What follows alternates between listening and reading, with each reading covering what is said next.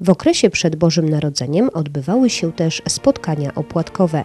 Kamera Master TV została zaproszona m.in. na spotkanie Stowarzyszenia Przedsiębiorców Ziemi Łukowskiej. Mamy dobre lata dla przedsiębiorców. E, Nic się nie dzieje. E, Takiego bardzo złego.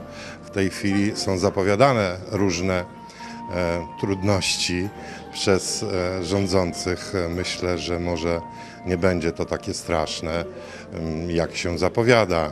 Mam nadzieję, że, że będzie dobrze. Dla Pana wyjątkowy rok, bo został Pan prezesem Stowarzyszenia Przedsiębiorców Ziemi Łukowskiej. Tak, jest to rok wyjątkowy. Zdeklarowałem się i, i, i przyjąłem e, na siebie, na swoje barki tę zaszczytną funkcję. Otóż zamierzam znacznie ożywić to stowarzyszenie. Mamy szereg e, z zarządem e, szereg nowych pomysłów. No i będziemy je realizowali. Oczywiście przy tej okazji e, nie mogę nie wspomnieć, że zapraszamy do siebie osoby chętne do działania, osoby, które chcą coś w naszym mieście zmienić, w przedsiębiorcach. Czy przyszły 2020 nowy rok zapowiada się dobrze? Czy będzie współpraca z władzami powiatu, z władzami miasta?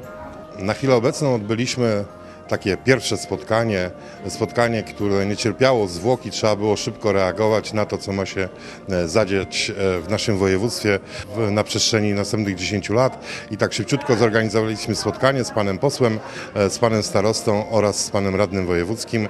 No tutaj widziałem niemalże ręce szeroko rozłożone.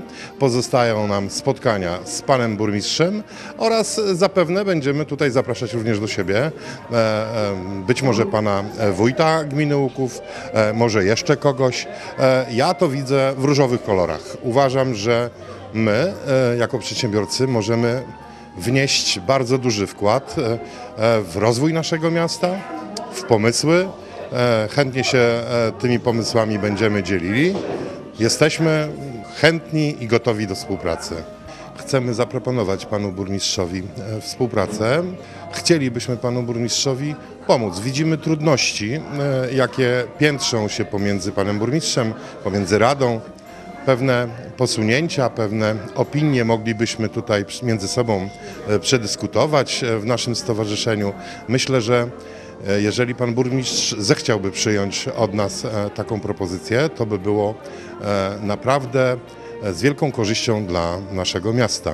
I myślę, że nasze słowo e, byłoby takim znaczącym słowem w podejmowaniu decyzji czy projektów e, na budżetów na przyszłe, na przyszłe lata. Także w tym temacie zechcę się z panem burmistrzem spotkać i zaproponować mu takie ciało doradcze.